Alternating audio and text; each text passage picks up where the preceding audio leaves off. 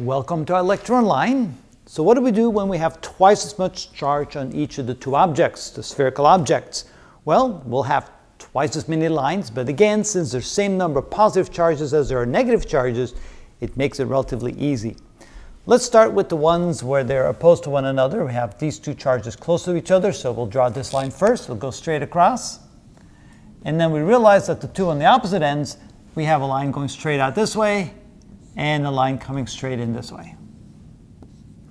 But what about the others? Well, as long as we adhere to the rules where the lines must leave and enter perpendicular to the surface, that means we'll have a line, a line leaving like this, a line leaving like this, and a line leaving like that, and on the other side, because of symmetry, exactly the same, like so.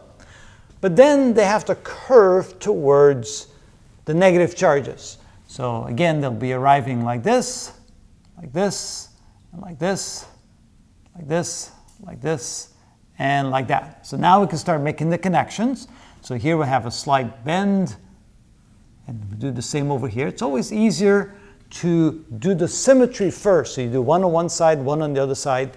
Now this one here will go up and start curving. So this one will come around and go like this, and this one will come around and go like that. I may have gone a little bit too far away, but that's okay. You get the, the drift of what that looks like. Now the next one will eventually end up over here, but that will be so far out that we can't draw the whole picture. So you can go ahead and start drawing it like this. And actually, I shouldn't curve it quite that quickly. I'll try it again. So it goes out like that, but eventually you would expect it to reach the other side. And the same one over here. So this starts curving like that, and this starts curving like that. But typically that's how we leave it because it'll be a long ways before they start combining again. But that's what you would expect to see in an electric field. What's nice about drawing the lines like this is now you can, for example, put any test charge in there. For example, if I put a test charge in here, or I put a test charge in there, or I put a test charge in here, and I want to figure out what will be the direction of the force experienced by that test charge, and then you simply go ahead and of course what I also want to do is draw little arrows in there so we can see the direction of the electric field. So the arrows are like this. Oh, and here of course the arrows towards the negative charge. So, and then here it would be away from the charge. So then I can see over here, it looks like the force would be something like this.